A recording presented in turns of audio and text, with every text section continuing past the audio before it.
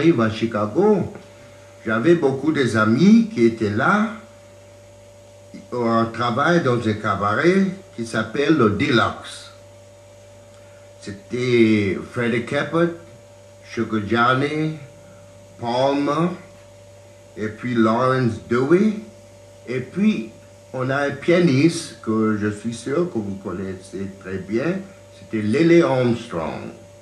Et ce café-là, c'était oh, c'était bien, bien amusant, parce qu'on a beaucoup de types qui, qui viennent là, vous comprenez, comme des types qui avaient beaucoup de filles, je ne sais pas comment on dit ça en français, et des gangsters. On trouve à peu près trois ou quatre chaque soir qui viennent me donner un dollar, deux dollars pour jouer le blues, vous comprenez Alors c'était bien pour moi.